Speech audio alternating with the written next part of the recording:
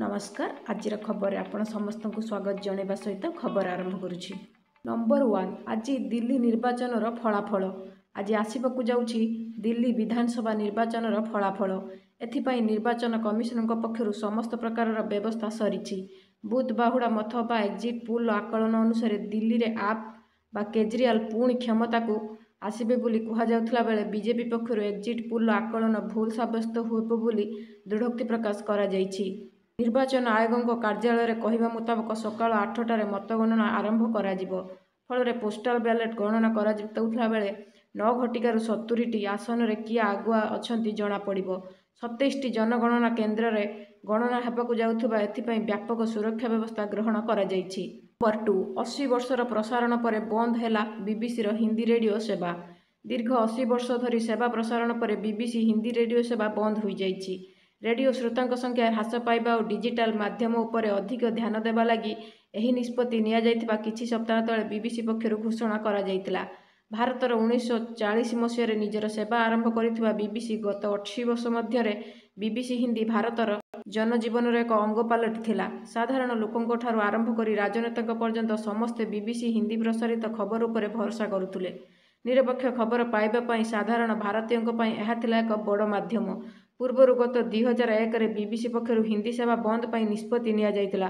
କିନ୍ତୁ ଶ୍ରୋତାଙ୍କ ଅନୁରୋଧ ଓ ମାର୍କ ଟୁଲି ବିକ୍ରମ ସେଠ ଆଦି ବିଶିଷ୍ଟ ଲେଖକ ବନ୍ଦ କରିବାକୁ ଦେଇନଥିଲେ ନମ୍ବର ଥ୍ରୀ ପୁରୀ କୋଣାର୍କ ପରେ ଭିତରକନିକା ପାଇଁ ହୋଇପାରେ ବଡ଼ ପ୍ୟାକେଜ ଘୋଷଣା। ଭିତରକନିକା ଗସ୍ତରେ ପାଞ୍ଚଟି ସଚିବ ଭିକେ ପାଣ୍ଡିଆନ ଭିତରକନିକା ଭିତ୍ତିଭୂମି ବିକାଶ ସ୍ଥିତି ସମୀକ୍ଷା କରିଛନ୍ତି ଫାଇଭ୍ ଟି ସଚିବ। ତେବେ ଭିତରକନିକା ମହୋତ୍ସବ ପୂର୍ବରୁ ପାଞ୍ଚଟି ସଚିବଙ୍କ ଏଭଳି ଗସ୍ତ ପରେ ମୁଖ୍ୟମନ୍ତ୍ରୀ କିଛି ବଡ଼ ପ୍ୟାକେଜ ଘୋଷଣା କରିପାରନ୍ତି ବୋଲି ଅନୁମାନ କରାଯାଉଛି। ସେହିପରି ଆଜି ପାଞ୍ଚଟି ସଚିବ ଭିକେ ପାଣ୍ଡିଆନ ଭୋଗରାଇ ଗସ୍ତ କରିଛନ୍ତି। ସେ ସୁବର୍ଣ୍ଣ ବେଳାଭୂମି ଉଦୟପୁର ତାଳସାରୀ ବିକାଶ ବିଷୟରେ ତର୍ଜମା କରିଛନ୍ତି। ନମ୍ବର ଫାଇଭ୍ ଟ୍ରେନ୍ରୁ ତିନିଶହ ବସ୍ତା ଚାଉଳ ଚୋରି କରିଥିବା ଦୁଇ ଅଭିଯୁକ୍ତ ଗିରଫ। ଏକ ମାସ ତଳେ ଟ୍ରେନ୍ରେ ତିନିଶହ ବସ୍ତା ଚାଉଳ ଚୋରି ହୋଇଥିଲା। ଏହି ଘଟଣା ପରେ ଝାରସୁଗୁଡ଼ା ରେଲୱେ କର୍ତ୍ତୃପକ୍ଷଙ୍କ ନିଦ ହଜିଯାଇଥିଲା। କେବଳ ସେତିକି ନୁହେଁ ଏହି ଘଟଣାରେ ପୂର୍ବରୁ ଆର୍ପିଏଫ୍ର ପାଞ୍ଚରୁ ଅଧିକ ଉପରିସ୍ଥ ଅଧିକାରୀ ନିଲମ୍ବିତ ହୋଇସାରିଛନ୍ତି। ଆଜି ଏହି ଘଟଣାର ସମ୍ପୃକ୍ତ ଦୁଇ ଜଣ ଅଭିଯୁକ୍ତଙ୍କୁ Jharsuguda railway police Dhamanagar police ସହାୟତାରେ ଗିରଫ କରିଛି। ଦୁଇ ଅଭିଯୁକ୍ତଙ୍କୁ ଅଟକ ରଖି ପୁଲିସ ପଚରାଉଚରା କରୁଛି। ତେବେ ଅଭିଯୁକ୍ତଙ୍କ ନାମରେ ଦଶରୁ ଅଧିକ ଚୋରି ମାମଲା ଥିବା ପ୍ରାଥମିକ ତଦନ୍ତରୁ ସୂଚନା ମିଳିଛି। ନମ୍ବର ସିକ୍ସ ପୁରୁଷ ବନ୍ଧୁକ ସହ ବନ୍ଧୁକ ଧରି ଖେଳୁଥିଲା ବେଳେ ଫୁଟିଗଲା ବନ୍ଧୁକ। ରାଜଧାନୀରେ ଇନ୍ଫୋସିସ୍ ଅଞ୍ଚଳରେ ଛାତ୍ରୀଙ୍କୁ ଗୁଳିମାଡ଼ ଘଟଣାରେ ବଡ଼ ଖୁଲାସା କରିଛି କମିଶନରେଟ୍ ପୁଲିସ। ଗୁଳିମାଡ଼ ଘଟଣାରେ ଖୁଲାସା କରିଛନ୍ତି ଭୁବନେଶ୍ୱର ଡିସିପି ଅନୁପ ସାହୁ। ଯୁବତୀ ଜଣକ ନିଜର ପୁରୁଷ ବନ୍ଧୁକ ସହ ବନ୍ଧୁକ ଧରି ଖେଳୁଥିଲା ବେଳେ ବନ୍ଧୁକରୁ ଗୁଳି ଫୁଟିଗଲା। ଦୁଇ ରାଉଣ୍ଡ ଗୁଳି ଫୁଟି ଯୁବତୀଙ୍କ ଜଙ୍ଘରେ ବାଜିଥିଲା। ବଜରଙ୍ଗ ବିହାରରେ ଥିବା ଯୁବତୀଙ୍କ ଘରକୁ ଆସିଥିଲେ ଆଶିଷ। ଆଉ ଏହି ସମୟରେ ଉଭୟ ବନ୍ଧୁକ ଧରି ଖେଳୁଥିଲେ। ହେଲେ ହଠାତ୍ ଏଭଳି ଗୁଳି ଫୁଟି ଯାଇଥିଲା। ନମ୍ବର ସେଭେନ୍ ଚୂରା ବନ୍ଧୁକ ବେପାର କରୁଥିବା ଅଭିଯୋଗରେ ଦୁଇ ଛାତ୍ରଙ୍କୁ ଗିରଫ କଲା ଏସ୍ଟିଏଫ୍ ଏସ୍ଟିଏଫ୍ ହାତରେ ବନ୍ଧୁକ ବେପାରୀ ତିନି ବନ୍ଧୁକ ବାଇଶ ରାଉଣ୍ଡ ଗୁଳି ବା ଛଅଟା ମାଗାଜିନ୍ ଜବତ ଦୁଇ ଜଣଙ୍କୁ ଗିରଫ କଲା ଏସ୍ଟିଏଫ୍ ଗିରଫ ଦୁଇ ଜଣ ହେଲେ ଭୁବନେଶ୍ୱରର ସୁରେଶ ପାଣିଗ୍ରାହୀ ଛତିଶଗଡ଼ର ସାନୁ ପୋଧାର ବାଲି ସୂଚନା ସୁରେଶ ଭୁବନେଶ୍ୱର ଏକ ଘରୋଇ ଇଞ୍ଜିନିୟରିଂ ଛାତ୍ର ହୋଇଥିଲା ବେଳେ ସାନୁ ସେହି ଇଞ୍ଜିନିୟରିଂ କଲେଜର ଜଣେ ପୁରାତନ ଛାତ୍ର ହୋଇଥିବା ସୂଚନା ମିଳିଛି ଗିରଫ ଦୁଇ ଯୁବକ ବିହାର ମୁଙ୍ଗରେ ଚୋରା ବନ୍ଧୁକ ଆଣି ଓଡ଼ିଶାରେ ଏହାକୁ ବିକ୍ରି କରୁଥିଲେ। ବନ୍ଧୁକ ପିଛା ଏକ ଲକ୍ଷ ଟଙ୍କାରୁ ଅଧିକ ଟଙ୍କାରେ ବିକ୍ରି କରୁଥିଲେ ଉଭୟ। ନମ୍ବର ଏଇଟ୍ ଶାହିନବାଗ ଶିଶୁ ମୃତ୍ୟୁ ଉପରେ ଏସିଙ୍କ କଡ଼ା ଟିପ୍ପଣୀ। ଶାହିନବାଗରେ ସିଏ ବିରୁଦ୍ଧରେ ଜାରି ହୋଇଥିବା ଧାରଣା ପ୍ରଦର୍ଶନ ଉପରେ ସୁପ୍ରିମକୋର୍ଟ ପ୍ରଶ୍ନ ଉଠାଇଛନ୍ତି। ସୁପ୍ରିମକୋର୍ଟ ପ୍ରଦର୍ଶନରେ ଚାରି ମାସର ଶିଶୁ ମୃତ୍ୟୁ ଉପରେ କେନ୍ଦ୍ର ଓ ଦିଲ୍ଲୀ ସରକାରଙ୍କୁ ନୋଟିସ୍ ଜାରି କରିଛନ୍ତି। ପ୍ରଦର୍ଶନରେ ଶିଶୁର ମୃତ୍ୟୁ ଉପରେ ସର୍ବୋଚ୍ଚ କୋର୍ଟ ନିଜ ଆଡ଼ୁ ସଂଜ୍ଞାନ ଦେଇଛନ୍ତି। ଶୀର୍ଷ କୋର୍ଟ ବୀରତା ପୁରସ୍କାର ବିଜେତା ଜଣେ ଶିଶୁ ଚିଠି ଲେଖିବା ପରେ ଏହାକୁ ଗୁରୁତ୍ୱକୁ ନେଇଥିଲେ। ସୂଚନାଯୋଗ୍ୟ ଯେ ଶାହିନବାଗ ପ୍ରଦର୍ଶନରେ ଚାରି ମାସର ଶିଶୁର ଥାଣ୍ଡାରେ ମୃତ୍ୟୁ ହୋଇଥିଲା। ନମ୍ବର ଟେନ୍ ଏସ୍ସି ଏସ୍ଟି ଆକ୍ଟରେ ଯାଞ୍ଚ ନକରି ହେବ ଗିରଫଦାରୀ। ଏସ୍ସି ଏସ୍ଟି ସଂଶୋଧନ ଆଇନ ବା ଦୁଇ ହଜାର ଅଠରର ବୈଧତାକୁ ନେଇ ଚ୍ୟାଲେଞ୍ଜ କରିଥିବା ଯାଚିକାରେ ସୁପ୍ରିମକୋର୍ଟ ସରକାରଙ୍କର ନିଷ୍ପତ୍ତିକୁ ମୋହର ଲଗାଇଛନ୍ତି। କୋର୍ଟ କହିଛନ୍ତି ଯେ ଏହି ଆକ୍ଟରେ ତୁରନ୍ତ ଗିରଫଦାରୀ ପ୍ରକ୍ରିୟା ଜାରି ରହିବ ଓ ଏହି କାନୁନ ଆଧାରରେ ଅଗ୍ରିମ ଜାମିନ ମଧ୍ୟ ମିଳିବ ନାହିଁ। Number eleven Ganjam bus tragedy ଘଟଣାରେ ଚାରି ଅଧିକାରୀଙ୍କୁ ନିଲମ୍ବିତ କରିଲେ ସରକାର ଗଞ୍ଜାମ ବସ୍ ଟ୍ରାଜେଡି ଘଟଣାରେ କାର୍ଯ୍ୟାନୁଷ୍ଠାନ ନେଲେ ରାଜ୍ୟ ସରକାର ରାଜ୍ୟରେ ଅବହେଳା କରିଥିବା ଦର୍ଶାଇ ଚାରି ଜଣ ବିରୁଦ୍ଧରେ ନିଆଗଲା ଆକ୍ସନ କାର୍ଯ୍ୟରେ ଅବହେଳା ନେଇ ବିଦ୍ୟୁତ୍ ବିଭାଗର କନିଷ୍ଠ ଯନ୍ତ୍ରୀ ଦେବାଶିଷ ନାୟକ ଏବଂ ଏସ୍ଡିଓ ବିଶ୍ୱରଞ୍ଜନ ମହାପାତ୍ର ସହ ଗ୍ରାମ୍ୟ ଉନ୍ନୟନ ବିଭାଗର କନିଷ୍ଠ ଯନ୍ତ୍ରୀ ସ୍ୱରାଜ କୁମାର ପାଣିଗ୍ରାହୀ ଏବଂ ଏସ୍ଡିଓ ପୂର୍ଣ୍ଣଚନ୍ଦ୍ର ବେହେରାଙ୍କୁ ନିଲମ୍ବିତ କରାଯାଇଛି। ତେବେ ଗତକାଲି ଘଟିଥିବା ଏହି ଘଟଣାର ତଦନ୍ତ କରି ରିପୋର୍ଟ ଦେଇଥିଲା ଶକ୍ତି ବିଭାଗ। ଶକ୍ତି ମନ୍ତ୍ରୀ କ୍ୟାପ୍ଟେନ୍ ଦିବ୍ୟଶଙ୍କର ମିଶ୍ରଙ୍କୁ ବିଭାଗ ପକ୍ଷରୁ ଏହି ରିପୋର୍ଟ ଦିଆଯାଇଥିଲା।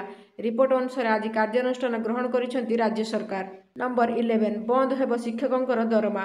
ବିଦ୍ୟାଳୟ ଓ ଗଣସଂଖ୍ୟା ମନ୍ତ୍ରୀ ସମୀର ଦାସଙ୍କର କଳାହାଣ୍ଡିର ବିଭିନ୍ନ ସ୍କୁଲକୁ ଅଚାନକ ଗସ୍ତ। ସ୍କୁଲରେ ପହଞ୍ଚି ପିଲାଙ୍କ ସହ ପାଠପଢ଼ା ବିଷୟରେ ଆଲୋଚନା କରିଲେ ମନ୍ତ୍ରୀ। ଇଂରାଜୀ ଶିକ୍ଷାରେ ପିଲାମାନେ ପଛରେ ନେଇ ଆଲୋଚନାରୁ ଜାଣିଲେ ମନ୍ତ୍ରୀ। କ୍ଲାସରେ ଇଂରାଜୀ ଶିକ୍ଷାର ଛାତ୍ରଛାତ୍ରୀମାନେ ନିମ୍ନମାନର ପ୍ରଦର୍ଶନ କରୁଥିଲା ବେଳେ ମନ୍ତ୍ରୀ ଅବଗତ ହେବା ପରେ ଶିକ୍ଷକମାନଙ୍କ ଉପରେ ବିରକ୍ତି ପ୍ରକାଶ କରିଛନ୍ତି। ଇଂରାଜୀ ବିଷୟରେ ଖରାପ ଶିକ୍ଷାଦାନ ତଥା ପିଲାଙ୍କ ପ୍ରତି ଠିକ୍ ଭାବେ ଦୃଷ୍ଟି ଦେଉନଥିବାରୁ ଭବାନୀପାଟଣାର ବିମ୍ବାଧର ସରକାରୀ ହାଇସ୍କୁଲର ପ୍ରଧାନ ଶିକ୍ଷକ ଦୁଇ ଜଣ ଶିକ୍ଷକଙ୍କୁ କାରଣ ଦର୍ଶାଅ ନୋଟିସ୍ ସହ ଫେବୃଆରୀରେ ଦରମା ବନ୍ଦ ଲାଗି ଜିଲ୍ଲା ଶିକ୍ଷା ଅଧିକାରୀଙ୍କୁ ନିର୍ଦ୍ଦେଶ ଦେଇଛନ୍ତି ମନ୍ତ୍ରୀ।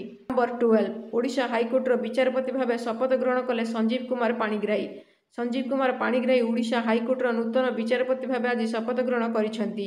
ହାଇକୋର୍ଟର ପୁରୁଣା କୋଠାରେ ରହିଥିବା ନୂତନ ସମ୍ମିଳନୀ କକ୍ଷରେ ଶପଥ ଗ୍ରହଣ ଉତ୍ସବ ଅନୁଷ୍ଠିତ ହୋଇଛି।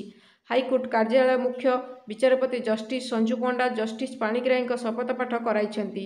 ହାଇକୋର୍ଟରେ ମଞ୍ଜୁରୀପ୍ରାପ୍ତ ବିଚାରପତି ପଦବୀ ସଂଖ୍ୟା ସତେଇଶ ଥିଲାବେଳେ ଏବେ ବିଚାରପତି ସଂଖ୍ୟା ଚଉଦରେ ପହଞ୍ଚିଛି। ତେବେ ଶପଥ ଗ୍ରହଣ ସମାରୋହରେ ହାଇକୋର୍ଟରେ ସମସ୍ତ ବିଚାରପତି ବିଚାର ବିଭାଗୀୟ ଅଧିକାରୀ ଆଡଭୋକେଟ୍ ଜେନେରାଲ ଅଶୋକ କୁମାର ପରିଜା ସ୍ୱତନ୍ତ୍ର DG Satyajit Mohanty police commissioner Sudhanshu Sarangi ଆଇନ ବିଭାଗ ସଚିବ Sachikanta Mishra crime branch SDG Soumendra Priyadarshi ଆନିଲୁର କୁଳପତି ଶ୍ରୀକୃଷ୍ଣ ଦେବାରାୟ ମନ୍ତ୍ରୀ ରଣେନ୍ଦ୍ର ପ୍ରତାପ ସ୍ୱାଇଁ ଜିଲ୍ଲାପାଳ ଭବାନୀ ଶଙ୍କର ଚଇନି ଡିସିପି ଅଖିଳେଶ୍ୱର ସିଂ ପ୍ରମୁଖ ଉପସ୍ଥିତ ଥିଲେ।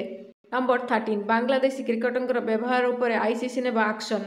ରବିବାର ଆଇସିସି ଅଣ୍ଡର ନାଇଣ୍ଟିନ୍ ୱାର୍ଲଡ କପ୍ରେ ବାଂଲାଦେଶ ଭାରତକୁ ତିନି ୱିକେଟରେ ହରାଇଥିଲା। ପ୍ରଥମ ଥର ଲାଗି ଫାଇନାଲରେ ପହଞ୍ଚିଥିବା ବାଂଲାଦେଶ ଟିମ୍ ଚଳିତ ବର୍ଷର ଚାମ୍ପିୟନ ହୋଇଥିଲା।